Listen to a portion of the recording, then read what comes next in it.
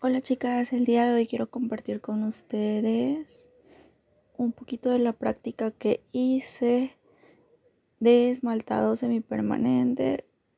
Aquí hice una película combinada, pero eh, solo les voy a mostrar la parte de la práctica del esmaltado porque es algo que siento que todavía se me dificulta bastante. De hecho, estoy pensando en buscar algún curso para poder tomarlo sobre esmaltado perfecto, porque la verdad sí es algo como que todavía me, me hace falta perfeccionar y bueno, pues les voy platicando un poquito de cómo lo trabajé.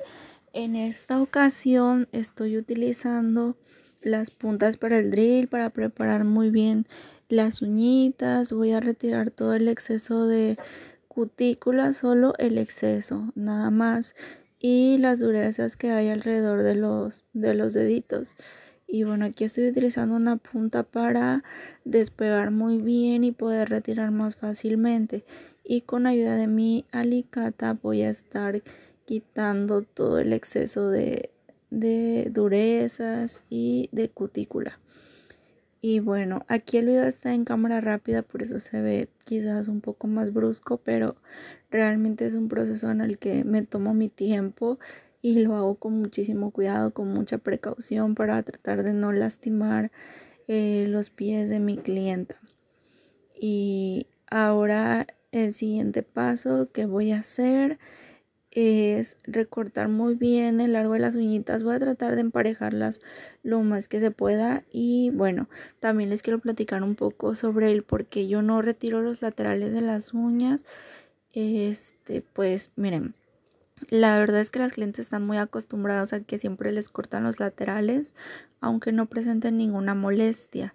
Entonces, pues esto realmente, como me lo enseñaron a mí, no es correcto ya que podemos empezar a provocar pues el problema de las uñas encarnadas debido a los malos cortes.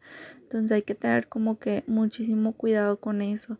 Y bueno, aquí estoy colocando un poquito de aceite de cutícula para con esta puntita de goma terminar de pulir muy bien la piel y que no se vea así como reseca, que se vea bien hidratada y ahora con una gasita voy a limpiar muy bien porque esa, esa punta de goma deja como residuos verdes entonces lo estoy quitando muy bien.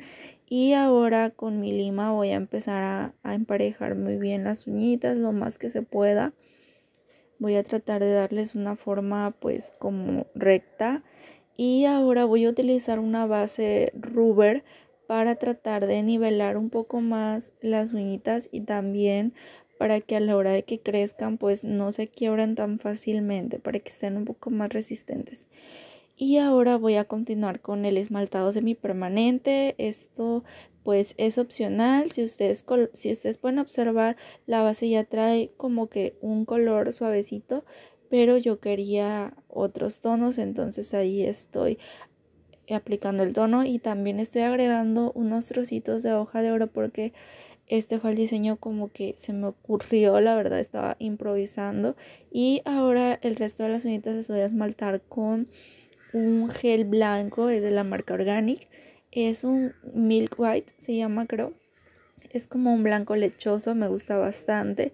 La verdad es que la aplicación de la base de rubber me facilita más el esmaltado.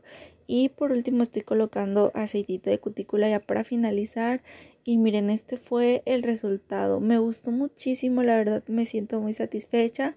Siento que me quedó bastante bien y pues voy a seguir practicando para que me queden aún mejor. Pero la verdad es que me gustó bastante el resultado. Se ven muy limpios los deditos y espero que les haya gustado. Nos vemos en un próximo video. Bye.